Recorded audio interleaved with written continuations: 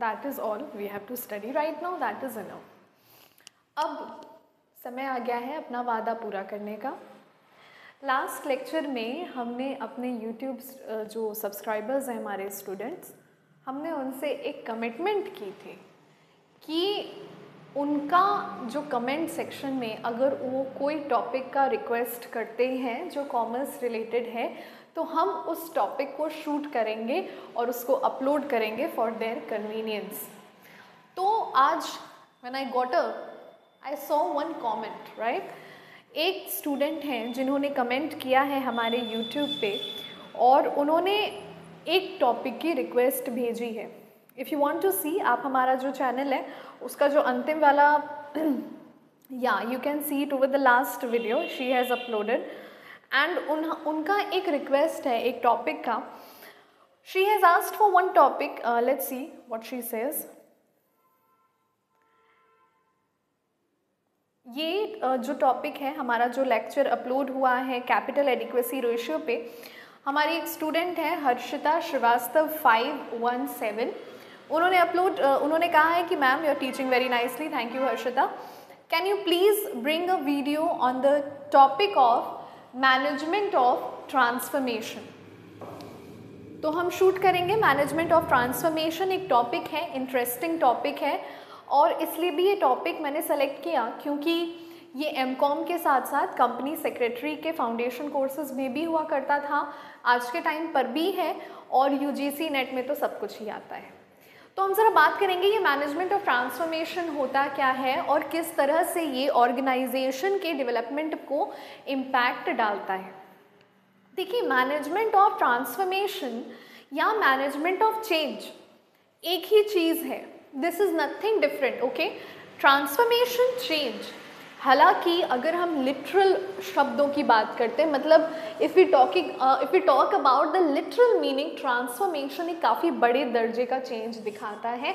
और change it can be from a very immaterial alteration to a very material alteration also but commercial world में, हमारे commerce की glossary में management of transformation and management of change can be use interchangeably management of change को समझने से पहले हम ज़रा ये समझें कि चेंज क्या होता है।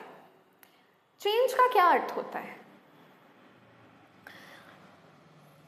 देखिए चेंज का अर्थ ये होता है ना कि बहुत समय से अगर कोई एक ट्रेडिशन अगर कोई एक कस्टम चला आ रहा है, चला आ रहा है और उस कस्टम में जब आप कुछ बदलाव करने की कोशिश करते हैं, वही तो चेंज है। तो मैनेजमेंट ऑफ़ चेंज क्या बात करता है? जैसे एक छोटे से एग्ज़ाम्पल से काफ़ी कुछ क्लियर हो जाएगा मैनेजमेंट ऑफ़ चेंज किस तरह से काम करता है। मान लीजिए, एक कंपनी है from hundred years of experience it is earning very great profits and it is doing so glorious business in its field मगर उनके जो लेजर हैं, जो बही खाते हैं या बही खाता इज़ हिंदी फॉर लेजर तो जो बही खाता है उनका, वो मैनुअल वे में मेंटेन हो रहा है means the employees are working to maintain that right समय के साथ साथ उनको क्या रियलाइज़ होता है कि we should also do some changes and we must also maintain these lecture sorry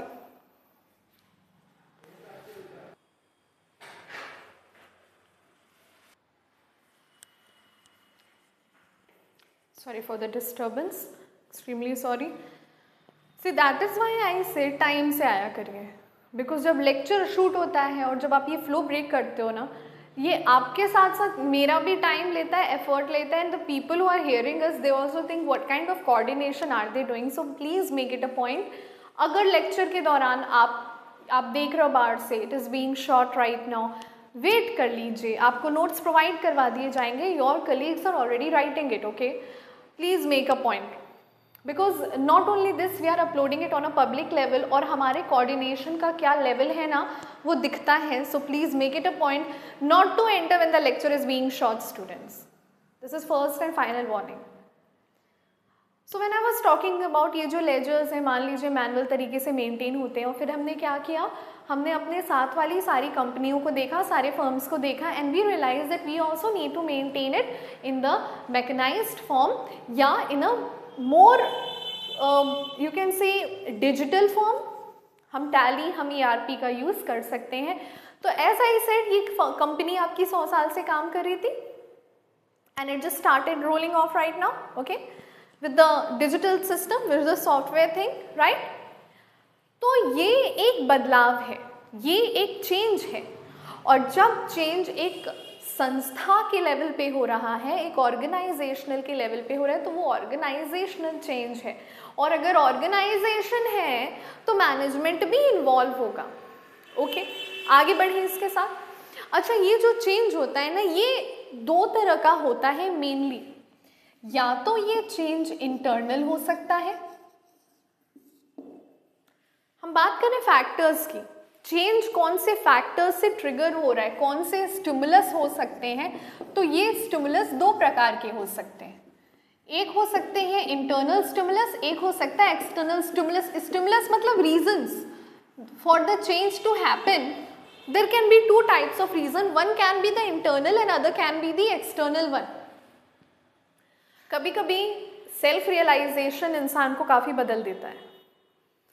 वो जो सेल्फ रियलाइजेशन वाली चीज़ है वो किसी बाहरी uh, किसी बाहरी इवेंट से प्रभ, प्रभाव होके नहीं होता। It happens within the person it तो वो इंटरनल है। And that change which is being triggered by the society that is the external पहले हम इंटरनल की बात करते हैं कि ऑर्गेनाइजेशन को थोड़ी सेल्फ रियलाइजेशन होगा। वो कोई व्यक्ति थोड़ी it is an entity So what are the internal factors which will lead to the change of the organization? Please have a look at it. The first thing in internal will be composition of policy of top management. मान लीजिए पिछले 50 साल से organisation का जो मालिक था किसी वजह से हो सकता है उसकी मृत्यु होगी हो सकता है उसने वॉल्टरली सोचा कि अब ये कंपनी किसी और के हाथ में जानी चाहिए। हो सकता है उसका वारिस हो हो सकता है कंपनी का ही कोई पर्दा हो। मगर यहाँ पे क्या हो रहा है? यहाँ पे मैनेजमेंट में बदलाव आ रहा है। और ज़ाहिर सी बात है, क्योंकि दो लोग कभी एक जैसा नहीं सोचते कभी कभी सोचते हैं। कभी कभी दो लोग एक जैसा सोच सकते हैं। हाँ? Soulmates yes soulmates think together like alike ना? You people have lots of knowledge about soulmate तो if you are talking about top management तो ये जो टॉप मैनेजमेंट में अगर बदलाव आता है तो डेफिनेटली पॉलिसी में बदलाव आपको देखने मिल सकता है। The other one if you are talking about internal में ही अगर हम बात करते हैं चेंजेस इन पर्सोनल पर्सोनल का अर्थ क्या होता है?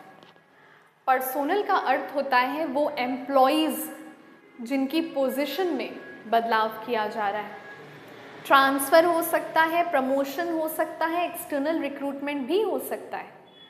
और अगर ऐसा कोई पर्सोनल चेंजेस एक बड़े लेवल पे किया जा रहा है तो पूरे के पूरे ऑर्गेनाइजेशन का स्ट्रक्चर बड़ी लेजिटिमेट ऑब्वियस सी बात है, बदलेगा। इज़ दैट ओके इंटरनल में एक और चीज़ है जो बहुत इंपॉर्टेंट है फ़िज़िकल फैसिलिटी सुविधाएँ बढ़ा दें या सुविधाएँ कम कर दें, दोनों ही केसेस में आपको चेंजेस देखने मिलती हैं। बात समझिएगा। पैंडमिक के दौरान काफ़ी मल्टीनेशनल कंपनीज़ और कॉरपोरेट हाउसेस ने क्या किया? उन्होंने वर्क फ्रॉम होम की सुविधा एम्प्लॉयज़ को दे दी। अब क्योंकि उन्होंने वर्क फ्रॉम होम की सुविधा अपने एम्प्लॉयज़ को दी थी तो जो फोर्थ क्लास वर्कर थे, जो हेल्पर्स थे, जो प्योन थे, उनको काफ़ी मल्टीनेशनल कंपनीज़ ने नौकरी से निकाल दिया। क्यों? क्योंकि उनकी सर्विस लेने वाला कोई व्यक्ति ही नहीं आ रहा था ऑफ़िस में और अभी कुछ दिन पहले काफ़ी कंपनियों ने ये कलेक्टिवली डिसाइड um, किया मल्टीनेशनल यूनिट्स ने कि लोगों का वर्क फ्रॉम होम एक मैक्सिमम 96 आवर्स तक 96 आवर्स अ वीक तक उनको सीमित रखा जाएगा। 96 hours it's more likely to से आप चार दिन से ज़्यादा वर्क फ्रॉम होम नहीं कर सकते। मतलब इन एनी केस आपको दो दिन ऑफ़िस आना पड़ेगा। और अगर कॉरपोरेट कल्चर में आपका ऑफ़िस सैटरडे संडे ऑफ़ रहता है तो आपको केवल दो दिन मिल रहा है वर्क फ्रॉम होम ये चीज़ें आई हैं मल्टीनेशनल कंपनी में। रीज़न ये था क्योंकि फोर्थ क्लास वर्कर्स में अनएम्प्लॉयमेंट की चीज़ें बढ़ गई थी। अब हम आते हैं ज़रा एक्सटर्नल चेंजेस पे। सबसे पहले एजुकेशनल एंड कल्चरल चेंजेस बड़ी खूबसूरती में बात करेंगे इसकी। एक समय था when female education was not even considered a requirement for the society आज से पचास साल पहले, साठ साल पहले। देवर पीपल लाइक जिन्हें लगता था कि महिलाओं को पढ़ाकर क्या ही करना है। She'll get married and she'll probably become a home maker that is what she is destined for आज आप ये बात ज़रा कह के भी देखिए। दो टांगों पे घर नहीं आएँगे आप। ये क्या है? ये एक एक्सटर्नल बदलाव है। ये सोसाइटी से स्टिमुलस होता है। तो अगर कोई इतनी रूढ़ीवादी सोच का आज भी है जो समझता है महिलाओं में शिक्षा की उतनी ज़रूरत नहीं है, सोसाइटी के वजह से उसको अपने घर की महिलाओं को शिक्षित करना पड़ता है। Then the next one if you are talking about external changes में अगर हम आगे बढ़ते हैं तो इकोनॉमिक फोर्सेस एक समय था, हमारे देश की जीडीपी दो सौ इक्यावन रुपये थी बस, कब था वो समय? जब अंग्रेज़ भारत छोड़ के गए थे। आज हमारे देश की economy one of the most fastest developing economies में से एक है। And with the such with such pace rate we might grow up to a developed nation position also in the coming time within ten years और something technological forces की अगर हम बात करते हैं मतलब वो फोर्सेस जैसे हमने अभी एग्ज़ाम्पल लिया था, जो हमने कंपनी का एग्ज़ाम्पल लिया कि हम हो सकता है अपना सारा काम ऑनलाइन करा दें। अच्छा उधर फिर ऑफलाइन में अनएम्प्लॉयमेंट देखने मिलेगा? बहुत नहीं, मगर थोड़ा थोड़ा सा डेफिनेटली देखने मिलेगा। एंड देन सोशल फोर्सेस वो चीज़ ने हमने कल्चरल में कवर कर ली। पॉलिटिकल फोर्सेस भी हो सकते हैं। तो पॉलिटिकल फोर्सेस बोलने का ये मतलब है कि अगर आपके देश में किसी की सरकार है, सबके देश में होती है, और वो किसी एक बिज़नेस को काफ़ी ज़्यादा पक्ष दे रही है तो वहाँ पे वो बिज़नेस करना एक बहुत मुनाफे का सौदा हो रहा है। Okay okay. एक और चीज़ देखते हैं, जहाँ चेंज है, वहाँ पे रेजिस्टेंस टू चेंज भी आ जाता है ऑटोमेटिकली रेजिस्टेंस का मतलब क्या होता है? रेजिस्टेंस का मतलब होता है विद्रोह. या विरोध कह सकते हैं. विद्रोह शायद एक बहुत उग्र शब्द हो जाएगा, विरोध. ऑपोजिशन रेजिस्टेंस टू चेंज क्यों होता है? रेजिस्टेंस टू चेंज चार रीजन से मेनली होता है. पहला ये है, अगर व्यक्ति कुछ नया सीखना नहीं चाह रहा है तो वहाँ पे वो उस चेंज को रेजिस्ट करेगा। वो चाहेगा चीज़ें जैसी चल रही थी, वैसे चलती तो बेटर था। कौन नया टैली सीखे, कौन नया ईआरपी e सीखे, पता नहीं क्या क्या। दूसरा है, जो रेजिस्टेंस टू चेंज हो सकता है। That is fear of losing power losing power P O W E R अगर आज भी आप आपकी कभी ऐसे लोगों से बातचीत होती है या आप अपने जान पहचान में ऐसे लोगों को जानते हैं? Let's talk about the female education only तो सोसाइटी में आपको आज भी ऐसे कुछ एलिमेंट्स मिलेंगे जो male female son daughter man woman के भेद को लेकर चल रहे हैं। उसको डिस्क्रिमिनेशन को लेकर आगे बढ़ रहे हैं। And they are very much fearful about the women getting educated and women rising to a powerful position. They are very much fearful about. That is why they are resisting female education. That is why they are opposing that women must not be educated. That is why they are saying कि हाँ महिलाओं को छूट नहीं देनी चाहिए महिलाओं को शिक्षा नहीं देनी चाहिए प्रकृति ने महिलाओं और पुरुषों में एक डिफरेंस बनाया है हम उस डिफरेंस के क्या हैं प्रमलगेटर्स हैं आपको ऐसे लोग आज भी सोसाइटी में मिलेंगे। They are operating from a position of fear because there are they are very much fearful about the fact what if women rose to the position why they are fearing क्योंकि उन्हें इस चीज़ का डर है कि जिस तरह से अब तक उन्होंने चीज़ों को किया, जिस तरह से उन्होंने एक डिस्क्रिमिनेशन मेंटेन किया, अगर विमेन पार में आ गई तो शायद वो उस डिस्क्रिमिनेशन को आगे बढ़ाएँ and the man will be treated differently they have this concept and because they are thinking things, people, the coming generation will be like them, which is not at all. They will oppose the change. कभी बहुत detail में बात करेंगे, अगर हम महिला सशक्तिकरण की बात करते हैं तो फेमिनिज्म क्या होता है सूडो फेमिनिज्म क्या होता है, और फेमिनिज्म का अर्थ क्या होता है? We are talking about equality we are not talking about ठीक है let take females higher and male और no we are talking about equality but अभी नहीं. अच्छा दूसरी चीज़ क्या होती है? फियर ऑफ़ फेलियर कई बार डर की वजह से, हारने की डर की वजह से हम और आगे ट्राई करना बंद कर देते हैं। वो भी एक रीज़न है। हमें लगता है कि शायद हम नई चीज़ें नहीं सीख सकते हैं so please stop doing it earlier I was very scared of the traffic and the roads and everything you know I use to have public transport no matter how much salary I am have nothing like that now I am riding bike also car also everything scooty also failure fear था कि नहीं सीख पाऊँगी। Overcome करो you'll do it and the last one is opposed by less educated and less intelligent people ये मैं नहीं कह रही आपके नोट्स में लिखा है, जो सी एस के नोट्स मैंने आपको प्रोवाइड किए हैं courtesy to the I C S I जिन्होंने अपने मटीरियल को फ्री रखा है for people like us to study and get the knowledge जो कम शिक्षित वर्ग होता है या जो कम समझदार वर्ग होता है, वो आने वाले चेंजेस के लिए ज़्यादा विद्रोह दिखाते हैं। ये विद्रोह दो तरह के होते हैं। एक होता है overt O V E R T overt मतलब वहाँ पे उग्र रूप में आपको विरोध दिख रहा है, हड़ताल हो जाएँगे, पथराव हो सकते हैं। ऐसी कोई हरकत हो सकती है जहाँ पे आपको प्रॉपर्टी को क्षति पहुँचाने की कोशिश की जाए और एक विद्रोह होगा जो जानबूझ के दबे कदमों में, दबे पाँव में किया जा रहा है। वॉट आर दे डूइंग जानबूझ के गलतियाँ कर सकते हैं। जानबूझ के इस चीज़ को सामने की लाने की कोशिश कर सकते हैं कि we are not capable of doing it तो दैट इज़ वन थिंग अच्छा कैसे ओवरकम किया जा सकता है इस रेजिस्टेंस को? स्टूडेंट्स ओवरकम करने का, हम ऑर्गेनाइजेशन की बात करें, हम यहाँ पे समाज की बात नहीं कर रहे समाज का ठेका कभी मत लेना, जो करना है करो। चल रहा यार लाइफ में हम ऑर्गेनाइजेशन की बात करें, हम कैसे किसी भी रेजिस्टेंस को ओवरकम कर सकते हैं? स्टूडेंट सबसे पहली चीज़ जो क्लास ऑफ़ एम्प्लॉयज़ इस रेजिस्टेंस को दिखा रहा है, उनको उसमें पार्टिसिपेट करने का मौका दीजिए।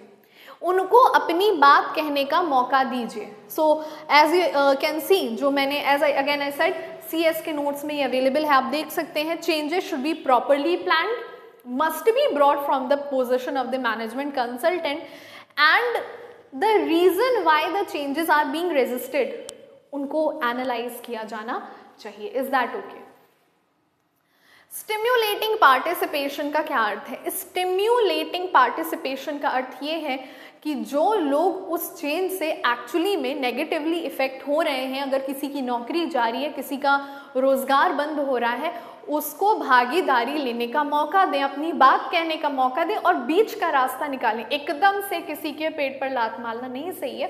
तो stimulating participation means to give the opportunity to participate in whatever the collaborative management is deciding regarding the change for an organisation and if it is being explain in the proper manner it will definitely reduce the type of re, rebellious act that a firm may encounter. अब हम ज़रा बात करते हैं action research क्या होता है? आप कहीं भी अगर मैनेजमेंट फॉर चेंज पढ़ेंगे ना तो आपको एक शब्द देखने मिलता है एक्शन रिसर्च स्टूडेंट्स ये जो एक्शन रिसर्च एक प्रोसेस का नाम होता है। और ये जो प्रोसेस है ना, ये चार चीज़ों से जुड़ के बनता है। ज़रा देखेंगे। एक्शन रिसर्च में जो चार प्रोसेस आते हैं, वो होता है डायग्नोसिस देन यू हैव पूरी स्पेलिंग लिख दूँ? दिक्कत आ सकती है इसको करने में। तो पूरी स्पेलिंग लिखेंगे डायग्नोसिस डायग्नोसिस के बाद आता है प्रोग्नोसिस प्रोग्नोसिस के बाद ये वन था, ये टू था. थर्ड है फीडबैक फीडबैक के बाद चौथा है एक्शन और एक्शन के बाद पांचवा है evaluation diagnosis prognosis feedback action evaluation action research एक साइंटिफिक मेथड है इस चीज़ को स्टडी करने का कि जो चेंजेस किए गए हैं, क्या उससे कोई पॉजिटिव इम्पैक्ट देखने मिला क्या?